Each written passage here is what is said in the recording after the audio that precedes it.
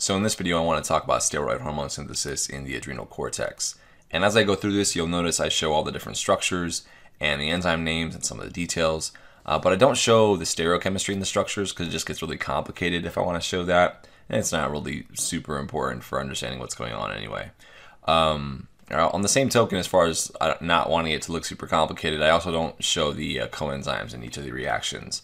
Uh, but it's worth noting that lots of um, NADPH and uh, molecular oxygen molecules are, are used um, by by the enzymes because the enzymes are cytochrome P450 mixed function oxidases, and of course, mixed function oxidases use molecular oxygen as well as NADPH. And we're talking about reductive biosynthesis here, so it makes sense that we're using NADPH. That that P, there we go. Okay, cool. Now I've got a little slice of the adrenal gland shown here, and the adrenal gland is actually two glands. There's uh, the adrenal medulla, kind of shown here in the middle, uh, which we're not going to really talk too much about um, in this uh, video. The adrenal medulla is sort of associated with the, the catecholamines like norepinephrine and epinephrine. Um, but I'm not, like I said, I'm not going to really talk about that too much. Um, the rest of this kind of shown in these different shades of pink here, that is the, uh, the adrenal cortex, okay? And that's what we're going to be talking about. And so what I want to do is kind of zoom in on the adrenal cortex and the different layers of it. So let's like kind of zoom in.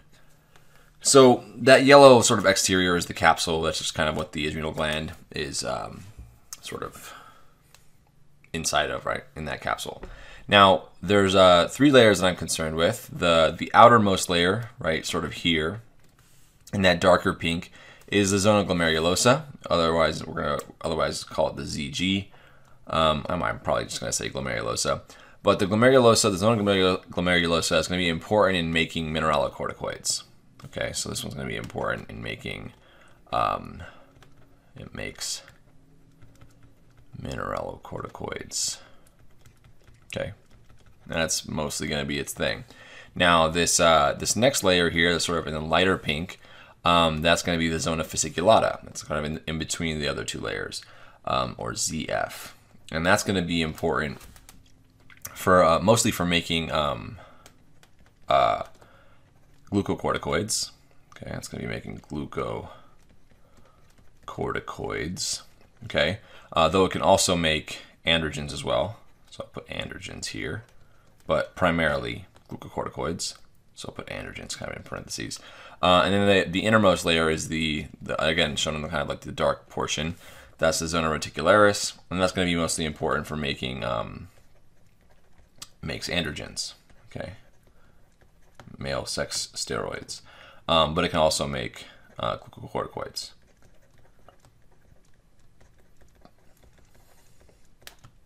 Okay, so mainly mineralocorticoids, glucocorticoids, and androgens. Okay, now um, let's actually get into the reactions. So we're making steroid hormones, and steroid hormones are steroids, and so they come from um, cholesterol, because of course cholesterol provides the steroid nucleus, right? The sort of um, A, B, C, D ring combination uh, that is necessary um, to build all these different steroids.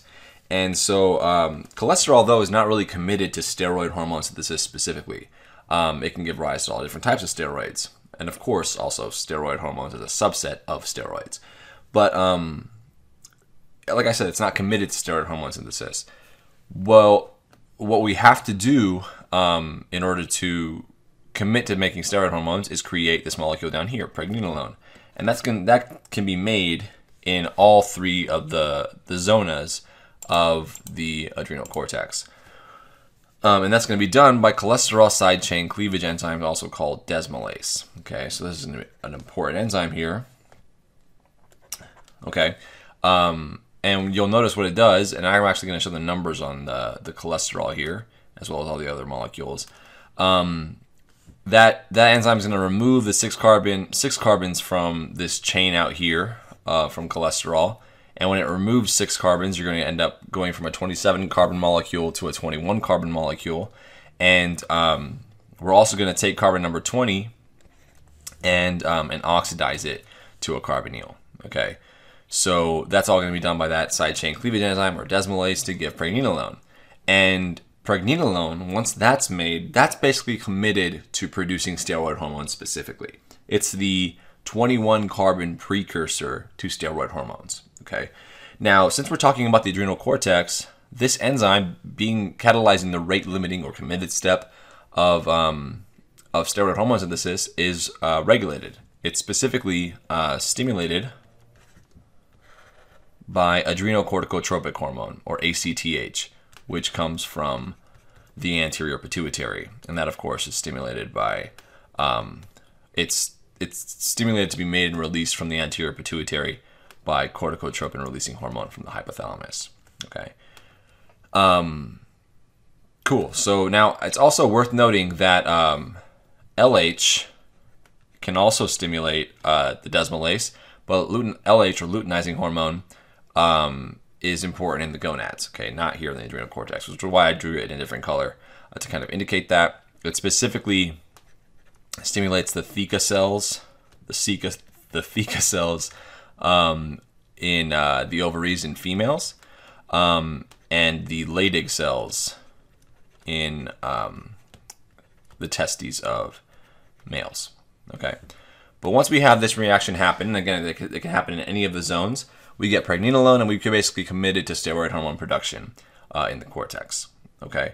And of course, again, I don't know if I mentioned it, but adrenocorticotropic hormone stimulates the growth of the adrenal cortex as well as the um, synthesis of, and release of steroid hormones from the cortex. Right. So sometimes I'll just say it'll stimulate the growth and secretory activity of the adrenal, adrenal cortex. Okay. So now we're going to kind of go through each of the zones separately to kind of see what steroid hormones are made there.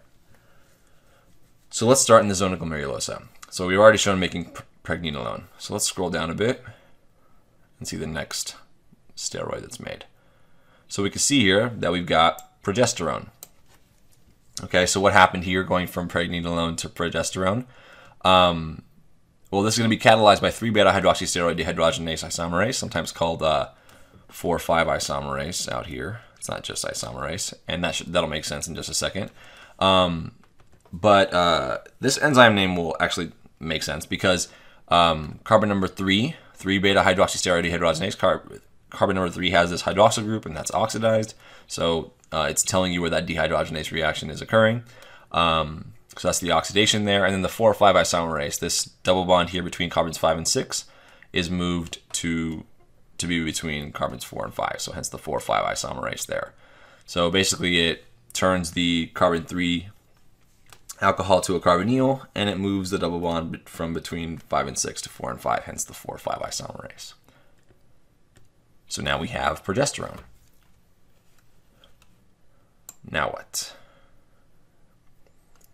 The next reaction is going to make 11 deoxycorticosterone, and this is going to be done by 21 alpha hydroxylase. And by the way, before I keep going, you'll notice that I have these uh, alphas and betas in parentheses. And that's because sometimes you you may or may not see those. Okay, you might just see 21 hydroxylase. You might even see something different than what's shown here. Uh, mostly you should see the same thing, but um, that refers to the stereochemistry, which I'm not showing here. But um, I figured I just mention that in case you began to freak out about that, which hopefully you probably wouldn't. um, anyway, so uh, progesterone is turned into 11 deoxycorticosterone by 21 alpha hydroxylase, and this name this enzyme name makes sense because um, carbon 21 up here is going to have um, a hydroxyl group attached. Perhaps I should use a different color just to kind of make it clearer. Yeah, so 21 at that position, we're adding a hydroxyl group. So that name should make sense. And that gives us 11 deoxycorticosterone. Now, uh, 11 deoxycorticosterone, or DOC or DOC, um, this is the first mineralocorticoid that we're making, and this is specifically a weak mineralocorticoid. Okay, it's not a strong one, but it is a mineralocorticoid nonetheless. Okay. Then we have 11 beta hydroxylase. That's going to add a hydroxyl group at the 11 position to give corticosterone. So uh, 11 deoxycorticosterone is just corticosterone without the um, uh, hydroxyl group at the 11 position. Okay, um, but now this is also a mineralocorticoid. Again, though, it's a weak one. It's a weak mineralocorticoid. Okay.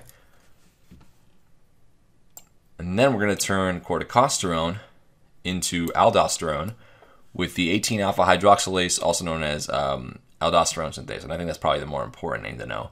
Um, but at the 18 position, we go from just having this methyl group to having uh, an aldehyde. So it's not really adding a hydroxyl group, and if it was added initially as a hydroxyl group, it was oxidized to that aldehyde.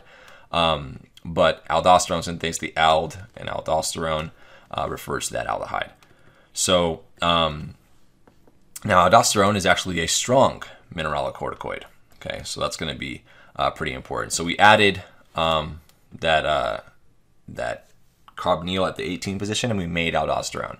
Now, something that's really important to know about aldosterone synthase is that it's specific to the zona glomerulosa. It's only in the glomerulosa. Okay, so that's super important to recognize here. And that means that only the zona glomerulosa can make aldosterone. Okay, so this is unique to the zona glomerulosa. Okay, now aldosterone, of course, being a mineralocorticoid, um, stimulates sodium reabsorption um, and potassium secretion and um, proton excretion. Um, if I said secretion, I meant excretion. Sorry about that.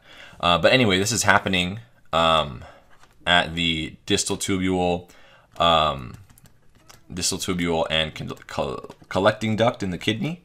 Um, collecting duct in the kidney.